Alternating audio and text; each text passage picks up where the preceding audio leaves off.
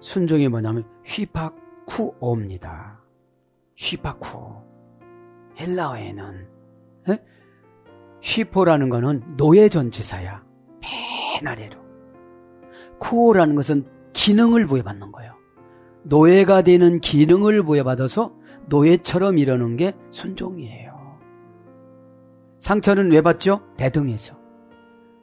하나님하고 바알하고 대등하고 생각한 거예요. 여러분 상처는 왜 받죠? 하나님하고 대등한 거예요. 수로보니게 여인이 왜 딸이 귀신이 나간 자세요? 대등하다고 왔는데 안 대등한 거야. 영의 제압을 받아서.